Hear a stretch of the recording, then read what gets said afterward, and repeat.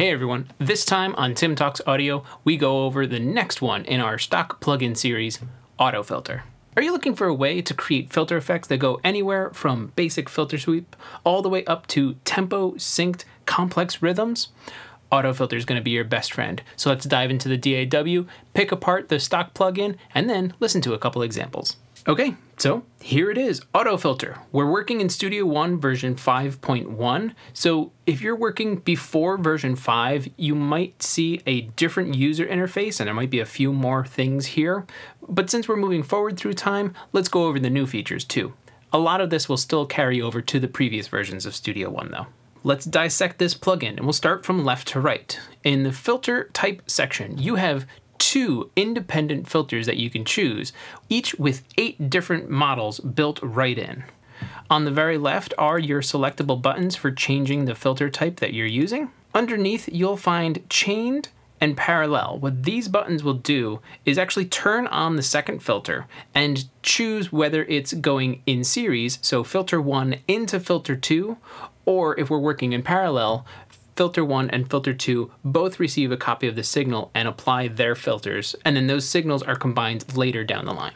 One thing you'll notice as a change with filter 2 is it does have a bypass option right here. Hitting the bypass will just turn the second filter off. With filter number 2 in bypass, it also deactivates cutoff 2 over here, and we'll get into what this does later. Next to the filter type buttons over here, and on number two as well, is the state variable filter. This is a slider that allows you to go from a low pass to a band pass to a high pass style filter and anywhere in between. When you have number two on as well, and with certain filters selected, you also have the option down here.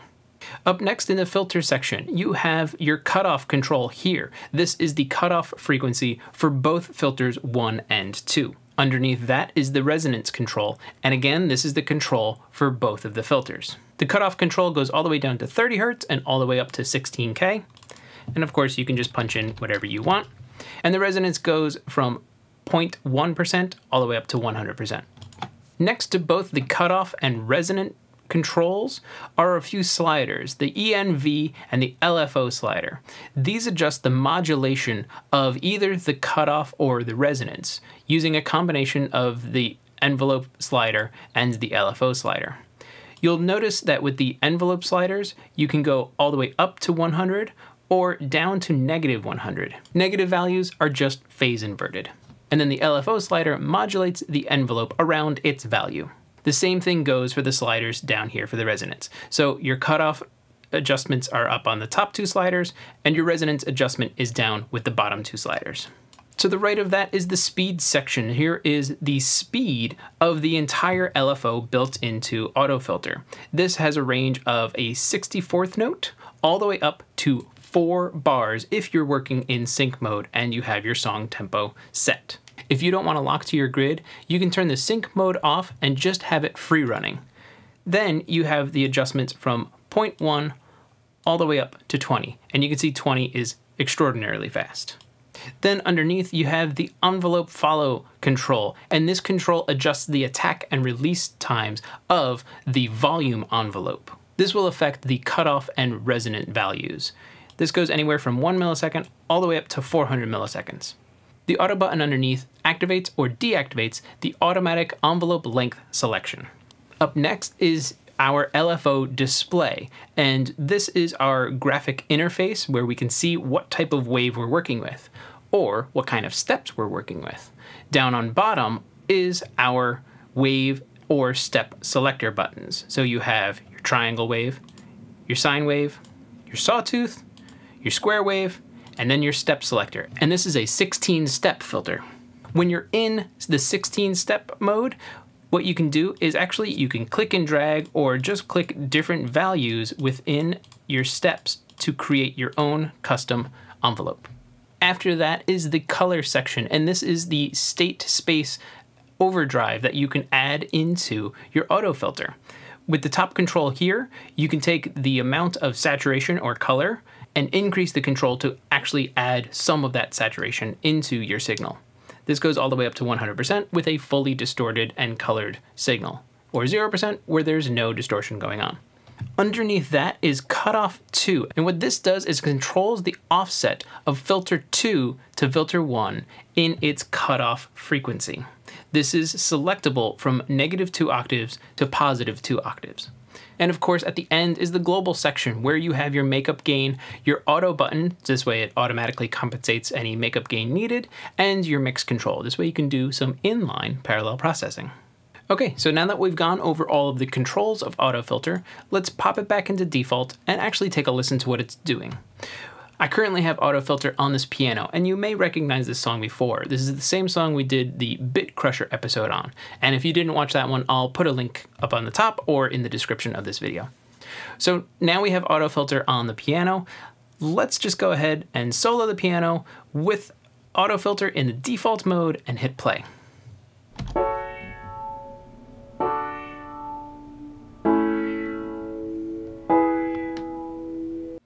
So you can hear it's just kind of doing a basic filter sweep and it's going through the triangle waveform that we have. When we hit play, it takes one bar to go through an entire cycle because that's set by our LFO speed, and you can hear it sweeping up and then down and then coming back again. If we wanted a little bit of a smoother sound, we could go for a sine wave, and that goes like this.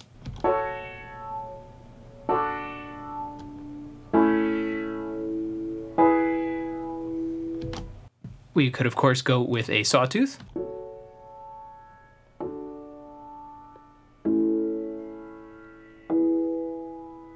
On the extreme side, we could go with square. And with this one, I'm actually just going to increase our speed a little bit, maybe a lot of bit.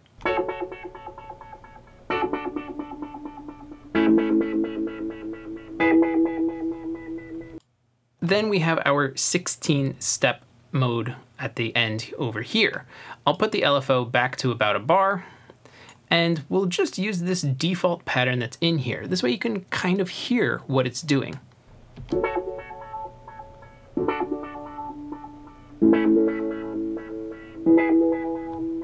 Let's take a deeper look into what's happening in this 16 step section. So if I go ahead and just draw everything at the bottom, we're gonna get a very cut off kind of sound. We're really filtering a lot of things out, and there's not a lot of auto filtering going on. It's just filter all of it and kind of keep it here. There's also not a lot of modulation going on. This is what it sounds like.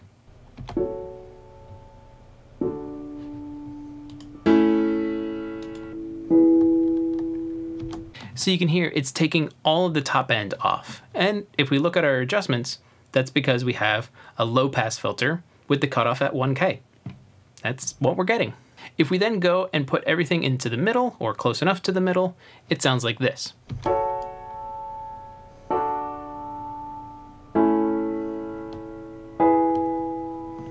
So we're getting a little bit more, some of the top end has come back, and we're not really filtering anymore.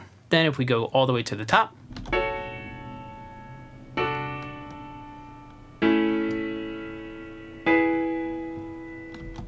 you can hear that it's opened up, but there's this ringing note way up at the top that is just the filter trying to modulate, but it's stuck at this one point.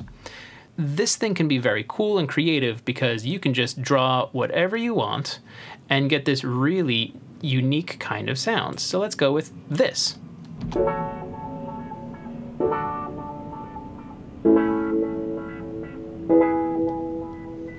So we get a big variance of sounds that we were getting through here because of all of the different steps that are going on inside this filter. We have off beats that are almost all the way open, and then we have some other parts that are all the way closed and some bits in the middle. So it really makes this very unique kind of sound. Then we can go ahead and change the LFO speed to really vary things.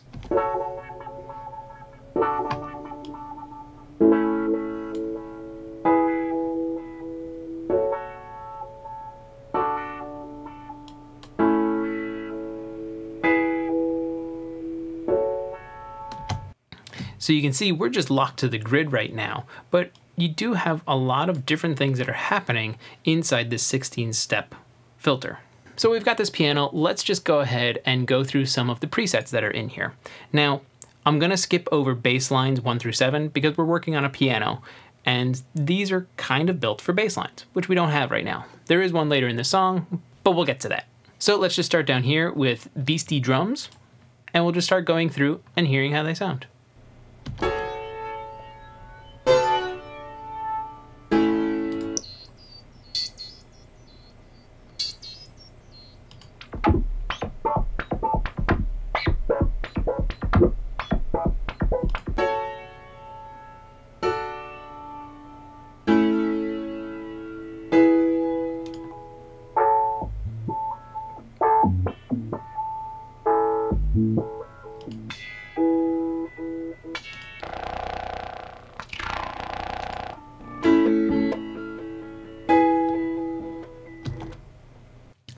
that was just a few of the presets, and you can see there's some pretty crazy things that are going on in here.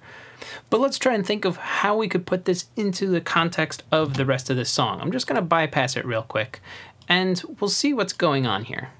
If you remember, that starts off with just the piano and this bit crushed beat, and then it really opens up when the bass comes in and it's still these piano chords. Later on, some guitars come in. So let's see what we can do.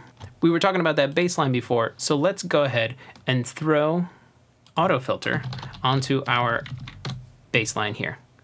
And let's just go with baseline 5. Now let's see what this is doing. We'll bypass it so we can hear the bass.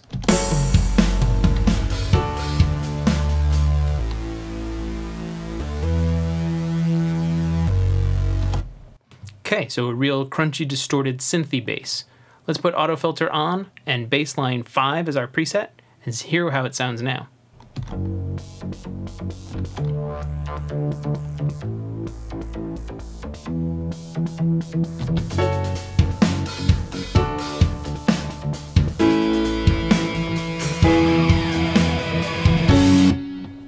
So it gives it a different kind of feel and more of like a electronic sound.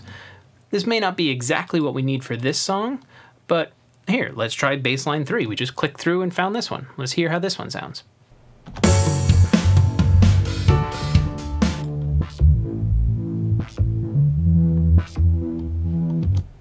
Now I notice that this is set to dotted half notes.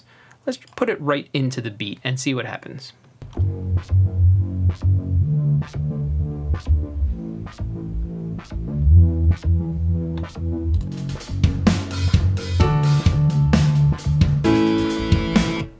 Not bad. This could be pretty fun.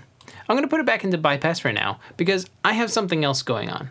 Over here in my guitars, later on in the song, there's this part that I have going on.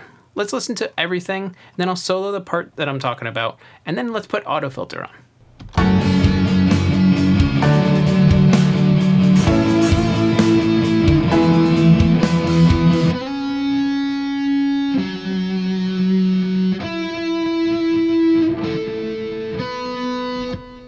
So it's this little lead part that's going on with everything else that's happening.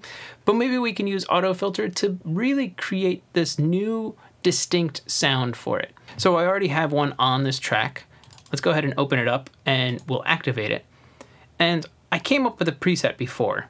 I was just messing around and kind of liked what we did. So let's go ahead and solo and bypass this and then we'll drop it in.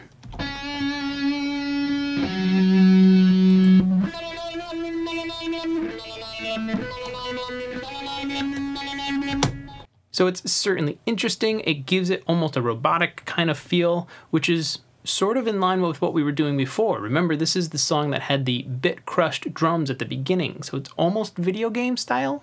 Now, let's hear how this sounds in the whole mix.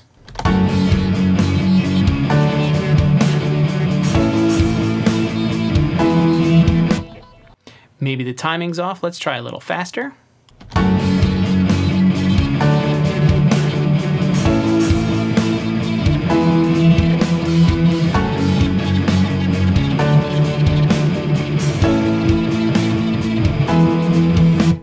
Bad, and let's go ahead and try slower as well. Let's go two bars.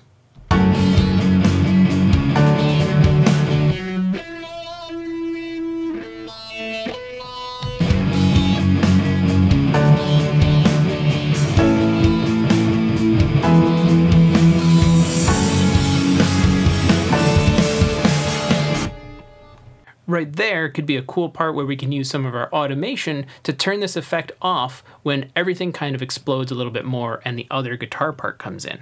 In a recent video, I talked about how we can use automation in something just like this. I'll go ahead and put a link for that video in the description. So there it is. That's another one of the Studio One stock plugins, the Auto Filter. Now with State Space Overdrive built right into it, so you can add some extra saturation to the sounds you have going through the Auto Filter. Now that you know what all the controls are, what are some creative ways that you can use Auto Filter? Let me know in the comments below.